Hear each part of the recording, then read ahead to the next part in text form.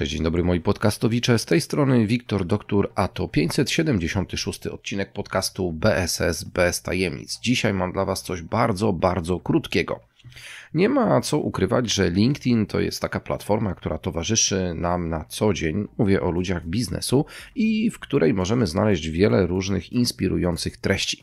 Ja e, w LinkedInie spędzam mniej więcej w okolicach godziny dziennie. To jest łączny czas spędzony pomiędzy porankiem a późnym wieczorem i staram się być na bieżąco z różnego typu informacjami, które dzielą się, które pokazywane są tutaj przez różne osoby z mojej grupy pierwszych drugich czy też trzecich kontaktów. Jedną z takich osób, które od ponad roku mam przyjemność gościć w gronie moich wirtualnych znajomych jest Peter Ryan.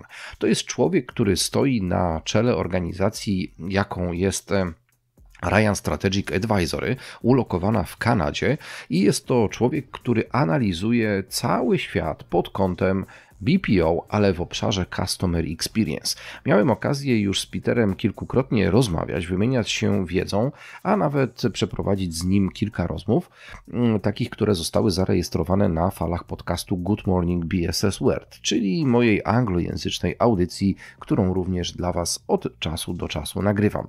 Ale to, co muszę przyznać, to to, że kierowana przez Petera firma bardzo regularnie pokazuje różnego typu analizy związane z obszarem Call Contact Center w modelu BPO.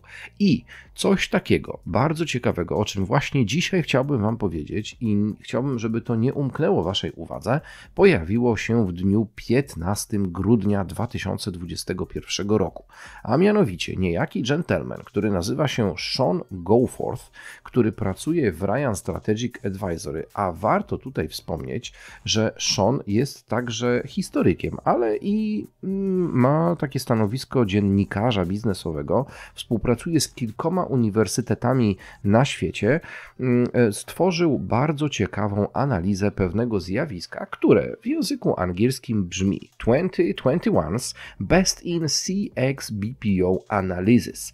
Dlaczego Wam o tym mówię? Dlatego, że Tutaj, w krótkim tekście, który zajmuje nie więcej niż jedną stronę A4, macie odwołania do kilku bardzo interesujących artykułów mówiących o tym, co się działo w roku 2021 w obrębie Customer Experience BPO.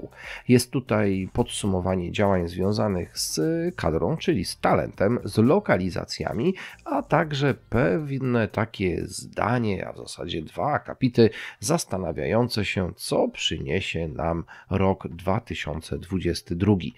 E, można to przeczytać dosłownie w 3 minutki, chyba że zdecydujecie się na kliknięcie artykułów, do których odwołuje się e, tutaj Sean, no i wtedy zajmie Wam to nieco dłużej. Ja postanowiłem, że przeklikam sobie kilka z tych mm, e, odnośników, z tych linków i było absolutnie warto.